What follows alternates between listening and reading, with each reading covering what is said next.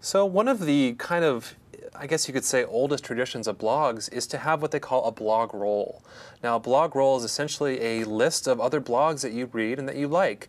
This is a great way to help, one, it helps your readers find other blogs that you have interest in. Maybe they're also closely related to what you're talking about.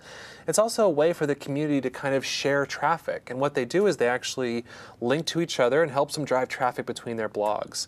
Um, so I would definitely recommend doing a blog roll, even if it's something as simple as your Twitter account, and maybe some friends' blogs that you like.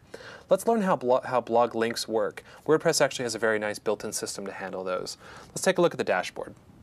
So in the dashboard, you'll notice there's actually something called links. Just click on that section there. Now, by default, you see they've actually already included WordPress and WordPress.com in here.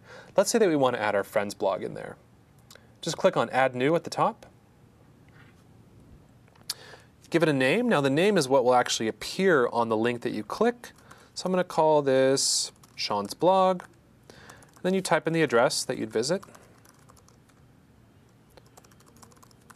Uh, description, that's kind of optional. You really don't need that.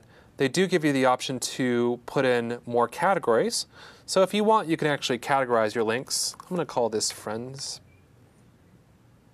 And see how you can check these. And when you're all ready, you just click on Add Link, and that link will now appear on your blog. Now, most themes have built-in uh, availability for displaying these, and so most themes that you use, once you actually add that link in there, you'll see it adds it to the right rail or wherever the real estate will accommodate the links section. If you want to learn more about WordPress, please check any of these videos above here.